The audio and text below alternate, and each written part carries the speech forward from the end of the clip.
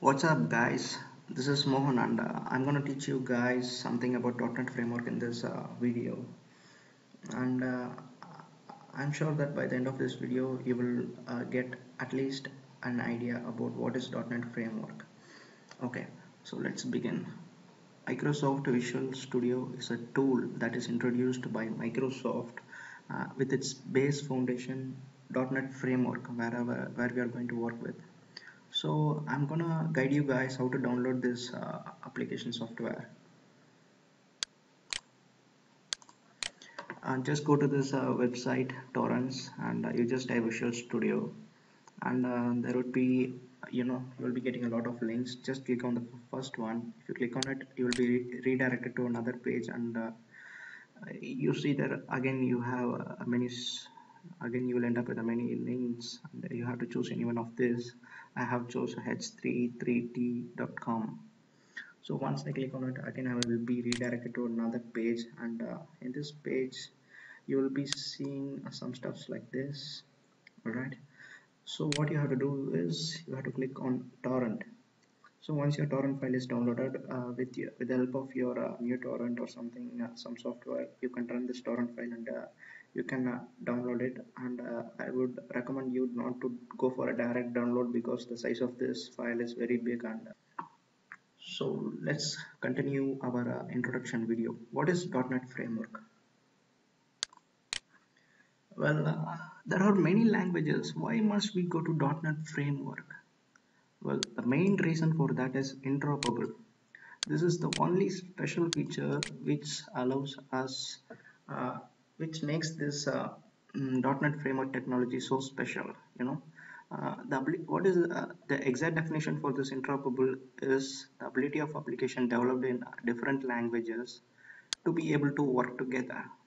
Um, and what if you're not getting any of this just don't freak out. I will sort it out for you guys.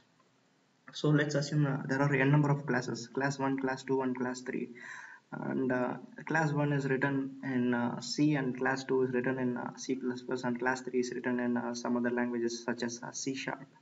So you can able to develop an application with uh, different programming languages involved in it. And you know at the end of the day you can compile the application and it will run even though your application is written in many languages. So this is the special feature about uh, .NET framework and uh, this feature is so called interoperable.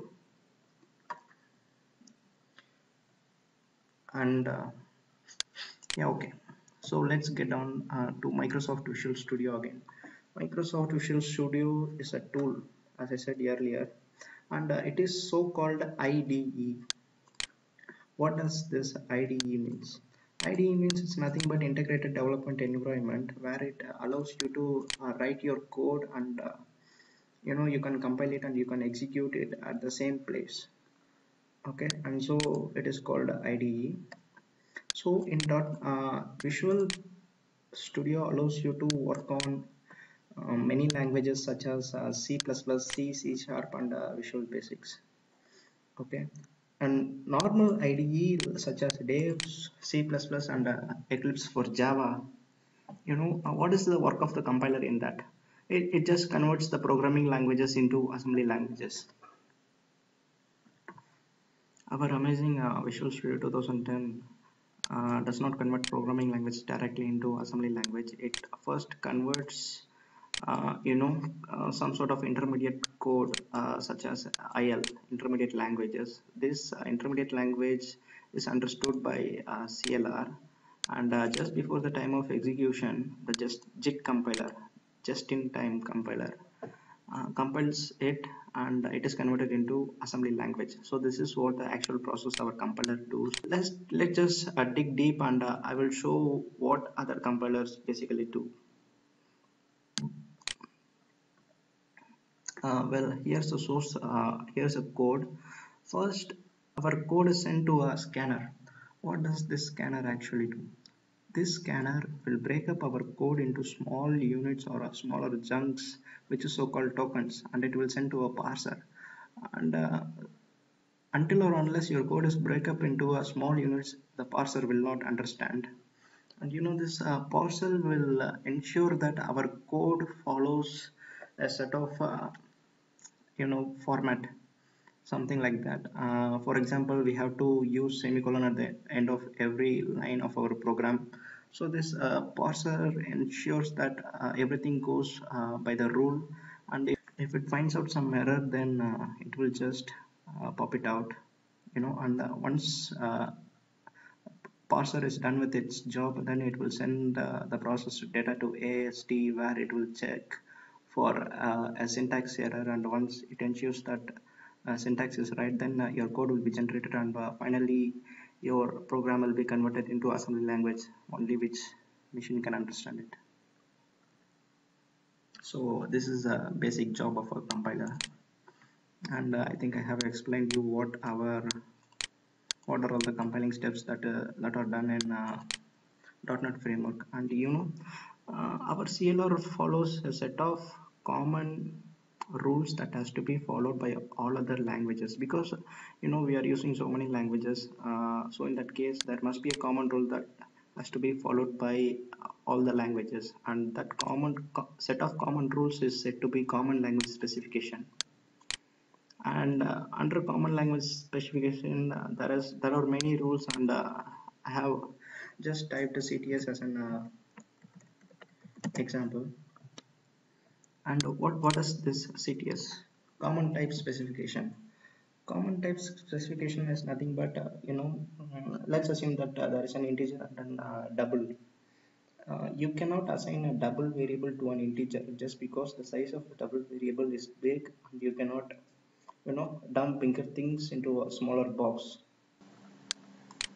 So this uh, cts takes care that you know it it will ensure that uh, the bigger size variable is not assigned to the smaller size variable such as int so uh, apart from the CLR and the CLS there are main components of .NET framework Windows Form and the console application and the web forms and web services and the .NET framework base class libraries and CLR so what does this Windows Form actually mean uh, windows form is nothing but you know uh, our uh,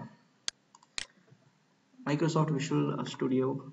It creates a form and it allows you to place some buttons and text boxes where you can get input from the user and you can process it. And uh, if you want you can display the output in the same window. And uh, what is this console application? Definitely we are going to work up with this console application on our next uh, tutorial so never mind about it.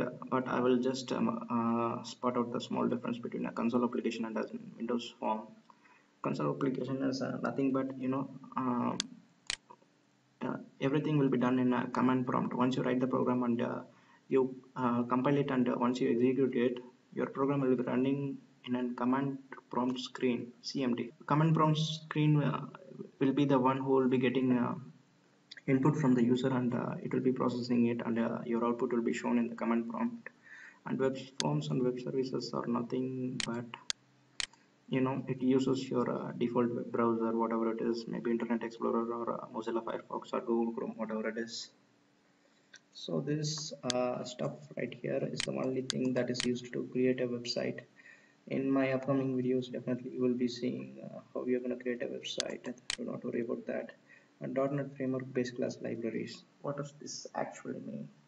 Well, it holds a set of predefined classes where we can uh, use it up, you know, uh, to make things less complicated. And what is this uh, CLR? CLR converting all your uh, other languages into IL, as I said, you know, our CLR is the one who converts uh, the pro programming language into intermediate language where our compiler can understand because you know a compiler cannot read different languages at the same time. So instead the process has been split. Since you're using you're going to use many languages in your single application CLR will be converting all other languages into an intermediate language which is uh, which which is said as a common language that a compiler can understand so based upon the rules the conversion uh, the translation or whatever it is man it will take place. So uh, that's all for an introduction class. Let us begin with the programming stuff in my next video. If you don't get any of this what i told you just don't panic. It's absolutely fine and uh, if you have any doubts just leave a comment. Take care guys. Bye